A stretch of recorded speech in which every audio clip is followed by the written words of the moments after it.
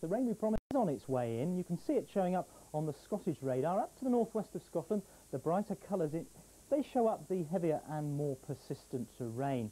Now the reason for that rain is this cold front and it's going to work its way down across the British Isles during the second half of the week and by the weekend we're going to find ourselves in a run of rather chilly northerly winds.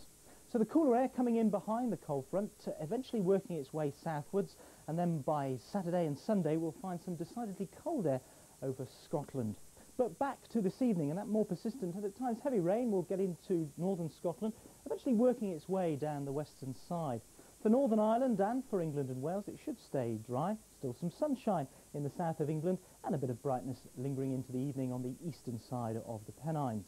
Now tonight, eventually the rain will get into Northern Ireland and down across southern Scotland with a little bit of mist and drizzle around these western coasts of England and Wales. But for the bulk of England and Wales, it'll stay dry and underneath the clearer slots there could be a little bit of mist and fog around, but it will be short-lived.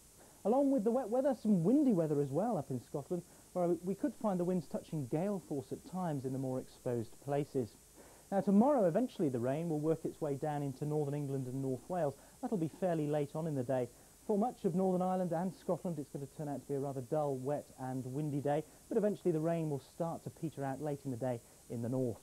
For much of uh, England and Wales, still some brightness, some sunshine around, but I think the winds are going to make a difference tomorrow. They'll be strengthening from a west to southwesterly direction as that rain makes its way southwards, and I think they'll make it feel decidedly cooler along the south coast.